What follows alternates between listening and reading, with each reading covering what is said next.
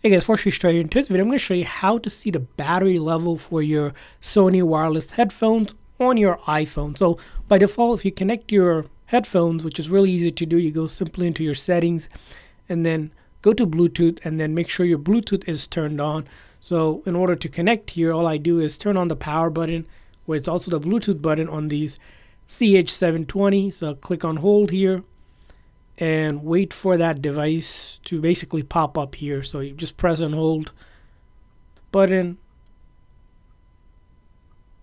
and then I'll click on over here and then connect it to my iPhone, right? Once you connect it to it, you can click on the eye icon here, but it doesn't give you the battery information. So how do you get the battery level?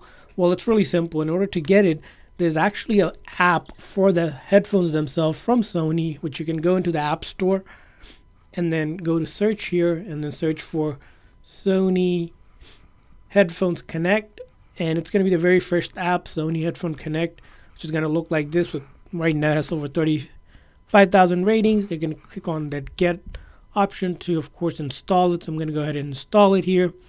The installation should be pretty quick. Make sure you're connected to good strong Wi-Fi or cellular data to download the app like you would with any app. Here it's saying uh, there's a timer of how long it's going to take, but it should be quicker than that. Now, once you um, install the app, I'll show you how you can set it up here.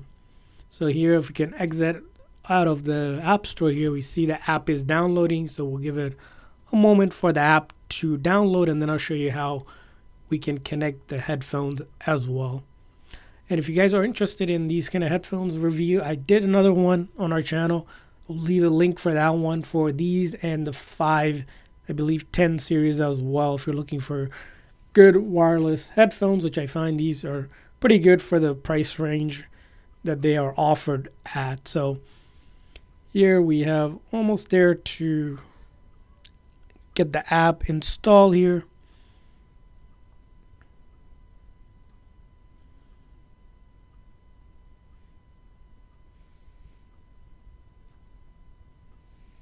All right, so app is installed. We're gonna go ahead and open it up. And once you open it up, you can of course select a region and then agree to their licensing policies. We'll just agree and then we agree and start using. That's not to track.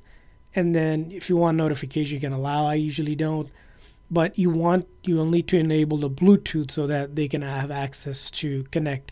So here once you go through that step, it will start looking for the device. So make sure it's close by here. So I'll have the headphones really close by here so that you can detect it. Okay, so it's detected here. So I hit OK here. And then you can sign in if you want more access, but I'm just going to do that later. Now, if you have any settings or data from your previous phone, you can restore that. I'm just going to do it without restoring any of that. And then the setup process tells you some of the features on these headphones that there's available. I'm just going to hit next here. As you can see here, there's ambient sound control based on action. I'll just do that later. And then other stuff around that I'll just do later. And then 360 reality audio setup, if you want to do that, we can hit next. I'll just do later because I'm just going to show you how you can see it. So once you're set up, it says setup is complete. You go to dashboard. And right here, if you notice, the battery level on your headphones will show up. Just as you can see here I have 56% on these. So that's how you determine the battery level of your headphones. As you can see here if you go into your settings again I mentioned that once it's connected right it doesn't really give you that information. So if you really want to get the battery level each time you just simply open it up once you're connected and it will give you the battery percentage just right here. So I hope this video was helpful. So please make sure to like and subscribe button. Thanks for watching guys. See you guys next time